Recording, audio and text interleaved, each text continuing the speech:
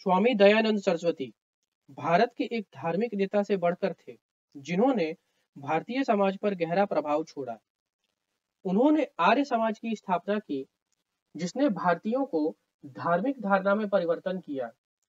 उन्होंने मूर्ति पूजा और खाली कर्म कांड पर व्यर्थ जोड़ देने के खिलाफ अपनी राय दी और मानव निर्मित हुकुम दिया कि महिलाओं को वेद पढ़ने की अनुमति नहीं है।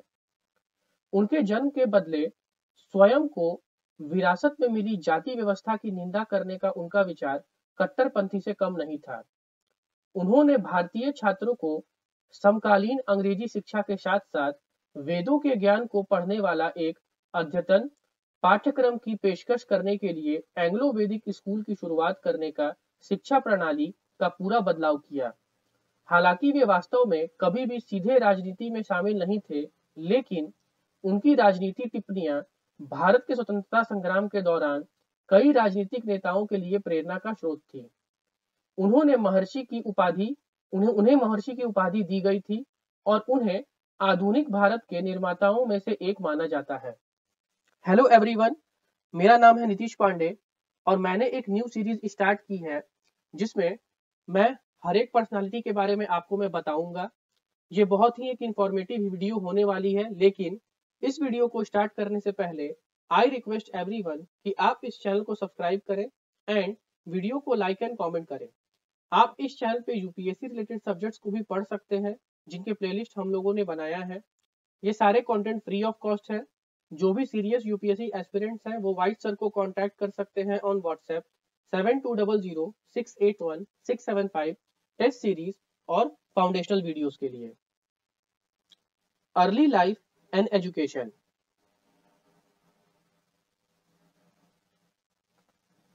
Dayanand Saraswati का जन्म 12 जनवरी फरवरी 1824 को गुजरात के टंकाड़ा में मूल शंकर के रूप में करसांजी लालजी तिवारी और यशोदा बाई के घर हुआ था। उनका समृद्ध और प्रभावशाली ब्राह्मण परिवार भगवान शिव की का प्रबल अनुयायी था। परिवार में गहरा धार्मिक होने के कारण मूल शंकर को बहुत कम उम्र से ही धार्मिक अनुष्ठान, पवित्रता, उपवास का महत्व सिखाया जाता था। यज्ञोपवित संस्कार या दो बार जन्मे का अलंकार जब वह आठ वर्ष के थे तब किया गया था और इसने मूल शंकर को ब्राह्मणवाद की दुनिया में प्रवेश कराया था। वह इन अनुष्ठानों का बहुत ईमानदारी से पालन करते थे। शिवरात्रि के अवसर पर मूल शंकर भगवान शिव की आज्ञाकारिता में पूरी रात जगे रहते थे। ऐसे ही एक रात में उसने एक चूहे को भगवान को प्रसाद खाते हुए और मूर्ति के शरीर पर दौड़ते हुए देखा। यह देखने के बाद उन्होंने अपने आप से सवाल किया, अगर भगवान एक छोटे से चूहे के खिलाफ अपनी रक्षा नहीं कर सकते तो वे विशाल दुनिया की रक्षा कैसे कर सकते हैं? स्पिरिचुअल इंडोक्ट्रिनेशन मूल शंकर चौदह वर्ष की उम्र में अपनी बहन की मृत्यु के बाद आध्यात्मिक क्षेत्र की ओर आकर्षित हुए थे। उन्होंने अपने माता पिता के जीवन, मृत्यु और उसके बाद जीवन के बारे का सवाल पूछने शुरू कर दिया, जिसका उनके पास कोई जवाब नहीं था। सामाजिक परंपराओं का पालन करते हुए शादी करने के लिए कहने पर मूल शंकर घर से भाग गया। वह अगले 20 वर्षों तक पूरे देश में मंदिरों, तीर्थों और पवित्र स्थानों का भ्रमण करते रहे। उन्होंने पहाड़ों या जंगलों में रहने वाले योगियों से मुलाकात की। उनकी दुविधाओं के बारे में पूछा, लेकिन कोई भी उन्हें सही जवाब नहीं दे सका। अंत में वे मथुरा पहुँचे, जहाँ उनकी मुलाकात स्वामी विरजानंद से हुई। मूल शंकर उनके शिष्य बन गए और स्वामी विरजानंद ने उन्हें सीधे वेदों में सीखने का निर्देश दिया। उन्होंने अपने अध्ययन के दौरान जीवन, मृत्यु और बाद के जीवन के बारे में अपनी सभी सवालों के जवाब पाए। स्वामी विरजानंद ने मूल शंकर को पूरी समाज में वैदिक ज्ञान फैलाने का काम सौंपा और उनका नाम ऋषि दयानंद रखा। स्पिरिचुअल बिलीव्स महर्षि दयानंद हिंदू धर्म में विश्वास करने वाले थे। विश्वास की पवित्रता को बनाए रखना उनके लिए अत्यंत महत्वपूर्ण था। उन्होंने धर्म की, अवधारणाओं की पुरजोर वकालत की, जिससे वे कभी भी पक्षपात से मुक्त और सच्चाई के अवतार के रूप में मानते थे। उनके लिए अधर्म कुछ भी था, जो सत्य नहीं था। न्याय संगत या निष्पक्ष नहीं था और वेदों की शिक्षाओं का विरोध करता था।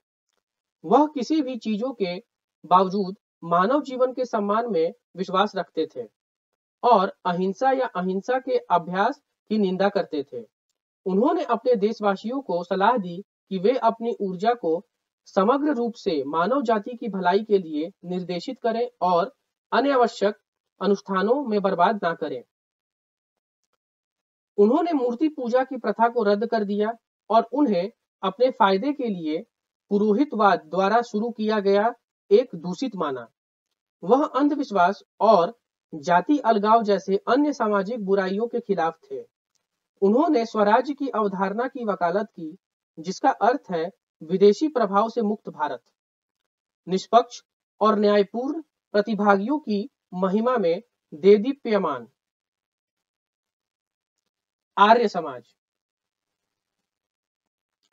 7 अप्रैल 1875 को दयानंद सरस्वती ने बॉम्बे में आर्य समाज का गठन किया। यह एक हिंदू सुधार आंदोलन था, जिसका अर्थ है रईसों का समाज। समाज का उद्देश्य हिंदू धर्म को काल्पनिक मान्यताओं से दूर करना था। क्रिनवन से विश्व आर्यम समाज का आदर्श वाक्य था, जिसका अर्थ है इस दुनिया को महान बनाओ। समाज अपने सदस्यों को मूर्ति पूजा तीर्थ यात्रा और पवित्र नदियों में स्नान पशु बलि मंदिरों में भेंट, पुरोहितों को प्रयोजित करने आदि जैसे कर्म कांड की निंदा करने का निर्देश देता है। समाज में अनुयायियों को मौजूद विश्वासों और अनुष्ठानों का अंधाधुन पालन करने के बजाय सवाल करने के लिए प्रोत्साहित किया। आर्य समाज ने न केवल भारतीय मानस को, मानस के आध्यात्मिक पूर्ण गठन की मांग की, बल्कि इसने विभिन्न समाज, सामाजिक मुद्दों को खत्म करने की दिशा में भी काम किया। इनमें से प्राथमिक विधवा पूर्ण विवाह और महिला शिक्षा थी। समाज ने 1880 के दशक में विधवा पूर्ण विवाह का समर्थन करने के लिए कार्यक्रम शुरू किए। महर्षि दयानंद ने भी बाल, बालिका शिक्षा के महत्व को रेखांकित किया और बाल विवाह का विरोध किया। उन्होंने घोषणा की कि एक शिक्षित व्यक्ति को समाज के समग्र लाभ के लिए शिक्षित पत्नी की आवश्यकता होती है। शुद्धि मूवमेंट एंड एजुकेशनल रिफॉर्म। शुद्धि आंदोलन महर्षि दयानंद द्वारा उन व्यक्तियों को हिंदू धर्म में वापस लाने के लिए शुरू किया गया था, जो स्वेच्छा से या अनैच्छिक रूप से इस्लाम या ईसाई धर्म जैसे अन्य धर्मों में परिवर्तित हो गए थे। उन लोगों को शुद्धि या शुद्ध प्रदान की गई, जिन्होंने हिंदू धर्म में वापस जाने का रास्ता खोजा और आर्य समाज ने समाज के विभिन्न स्तरों को भेदने, दलित वर्गों को हिंदू धर्म की तहों में वापस लाने में एक उत्कृष्ट कार्य किया।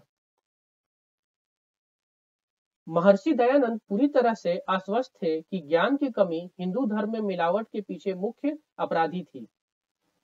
उन्होंने अपने अनुयायियों को वेदों का ज्ञान सीखने और उनका ज्ञान, उनके ज्ञान को आगे बढ़ाने के लिए कई गुरुकुलों की स्थापना की। उनकी मान्यताओं, शिक्षाओं और विचारों से प्रेरित होकर उनके शिष्यों ने अठारह में उनकी मृत्यु के बाद Dayanand Anglo Vedic college trust and management society की स्थापना की। पहला डीएवी हाई स्कूल 1 जून अठारह को लाहौर में स्थापित किया गया था, जिसके प्रधान अध्यापक लाला हंसराज थे। दयानंद सरस्वती डेथ। अपनी कट्टरपंथी सोच और सामाजिक मुद्दों और मान्यताओं के प्रति दृष्टिकोण के कारण दयानंद सरस्वती ने अपने आसपास कई दुश्मन पैदा किए। अठारह सौ तिरासी में दिवाली के अवसर पर जोधपुर के महाराज जसवंत सिंह दो ने महर्षि दयानंद को अपने महल में आमंत्रित किया था और गुरु का आशीर्वाद मांगा था। दयानंद ने दरबारी नर्तकी को नाराज़ कर दिया, जब उसने राजा को उससे त्यागने और धर्म का जीवन जीने की सलाह दी। उसने महर्षि के दूध में कांच के टुकड़े मिलाने वाले रसोइये के साथ षड्यंत्र किया।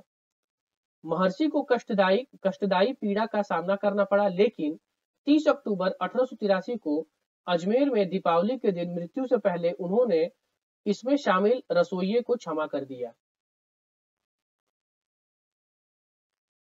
यद्यपि महर्षि दयानंद और आर्य समाज कभी भी भारतीय स्वतंत्रता संग्राम में सीधे तौर पर शामिल नहीं हुए थे, लेकिन उनके जीवन और उनकी शिक्षाओं का लाला लाजपत राय, विनायक दामोदर सावरकर जैसे कई महत्वपूर्ण व्यक्तियों पर काफ़ी प्रभाव पड़ा। वह एक सार्वभौमिक रूप से सम्मानित व्यक्ति थे और अमेरिकी आधुनिकवादी एंड्रयू जैक्सन डेवी ने महर्षि दयानंद को भगवान का पुत्र कहा। यह स्वीकार करते हुए कि उन्होंने अपनी आध्यात्मिक मान्यताओं पर गहरा प्रभाव डाला और राष्ट्र की स्थिति को बहाल करने के लिए उनकी सराहना की। थैंक यू आशा करते हैं कि आपको ये वीडियो इंफॉर्मेटिव लगा होगा अच्छा लगा होगा। तो इस वीडियो को लाइक कीजिए कमेंट कीजिए चैनल को सब्सक्राइब कीजिए। जय हिंद, जय भारत।